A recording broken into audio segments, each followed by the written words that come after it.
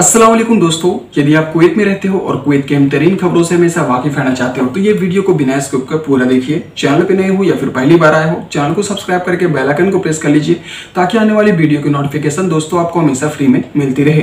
तो साथियों, सबसे पहले जो खबर कुवैत से जो आ रही है, कुवैत मुबारक अल कबीर की तरफ़ से आ रही दोस्तों, जो कुबारक अल कबीर बल्दिया की तरफ़ से आ रही है।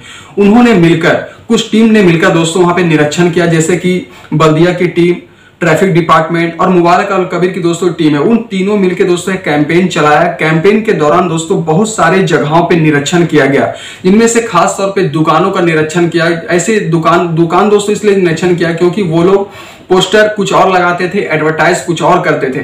तो इसके वजह से दोस्तों, उन सभी दुकानों पर वहाँ पे निरीक्षण किया गया, जिसके वजह से एक दुकान को वहाँ पे परमानेंटली सीज कर दिया गया है।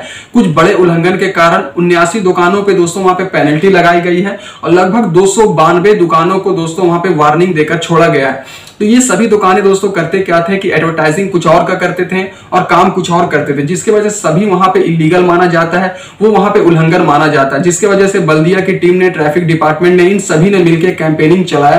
कैंपेनिंग के दौरान बहुत सारे दुकानों का निरीक्षण किया, जिनमें से एक दुकानों को परमानेंटली सीज कर दिया गया है। तो दोस्तों, ऐसी बहुत सारे जो निरीक्षण वहाँ पे लगातार चलाए जा रहे हैं। साथियों, आपको पता होगा कि जितने इलीगल वहाँ पे लोग वर्क कर रहे हैं, काम कर रहे हैं, उन लोगों पे लगातार वहाँ पे निरीक्षण किया जा रहा है कैंपेनिंग चलाई जा रही है, सभी टीमें मिलकर चला रही है, जिसकी वजह से 308 पुलिस चौकी दोस्तों कुवैत में ऐसा बनाया गया है जो कि टेम्पोरी है। ये टेम्पोरी पुलिस चौकी तब तक बना रहेगा तब तक वहाँ पे ये कैंपेनिंग चलेगा। यानी दोस्तों जितने इलीगल लोग वहाँ पे काम कर रहे हैं, उसकी वजह से 308 पुलिस चौकी वहाँ पे टेम्पोररी बनाया गया है। तो सभी लोगों को रोका जा रहा है, सभी के आईडी सिविल आईडी एकामा वीज़ा मतलब जो पुलिस का मन है वो आपसे मांगेगा, आपको दिखाना पड़ेगा, आपको शो करना पड़ेगा।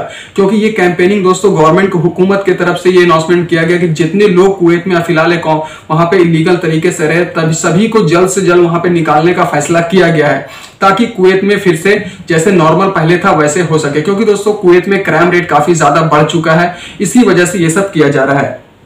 अगली जो खबर साथियों आ रही है, बताना चाहूँगा साथियों, वो ट्रैफ़िक डिपार्टमेंट की तरफ़ से आ रही है। ट्रैफ़िक डिपार्टमेंट की तरफ़ से दोस्तों कैंपेनिंग चलाया गया। कैंपेनिंग के दौरान वहाँ पे दो शख्स को गिरफ़्तार किया गया है, जो कि बिना लाइसेंस के गाड़ी चला रहे थे। साथियों, मैं आपको पहले ही बता चुका हूँ कि बिना लाइसेंस के वहाँ पे गाड़ी चला, यदि आप चलाते हो, आप पकड़े गए।